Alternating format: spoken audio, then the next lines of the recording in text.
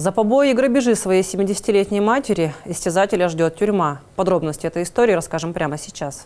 В октябре в Избестовский отдел полиции обратилась женщина с заявлением, в котором написала, что сын ее избивает. В ходе расследования было установлено, что он не только занимается рукоприкладством, но и открыто похищает ее пенсионные деньги.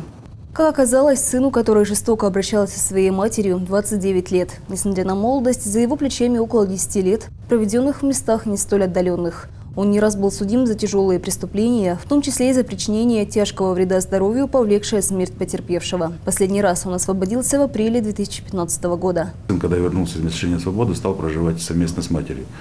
С апреля он нигде не работает, ничем не занимается, кроме как распитием спиртных напитков. На распитие спиртных напитков ему нужны деньги. Данные деньги он стал вымогать у своей матери. Э, так как мать не согласна была содержать своего сына, который, в принципе, здоровый парень, 86 -го года рождения, и вполне может работать, зарабатывать себе на существование, то отказывала в деньгах. За это он стал ее избивать. Полицейскими были установлены многочисленные эпизоды преступных деяний мужчины в отношении матери. В пьяном виде он избивал ее в своей квартире, бил не только кулаками, но и пускал в ход ноги. В результате следственным отделом возбуждено уголовное дело по нескольким статьям. Это 117 часть 2 систематическое нанесение побоев, то есть истязания, и 161 части 1. Несколько эпизодов, это по фактам того, что он отбирал у нее деньги.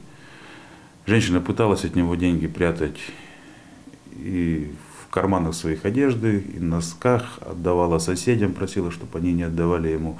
Но он все равно путем ее избиения, домогательства говорится, добивался своего и отнимал деньги.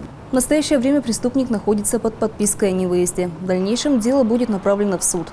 Уголовным кодексом предусматривается наказание за совершение преступления до 7 лет лишения свободы. Анастасия Самарина, Сергей Шелковкин, Новости АТВ.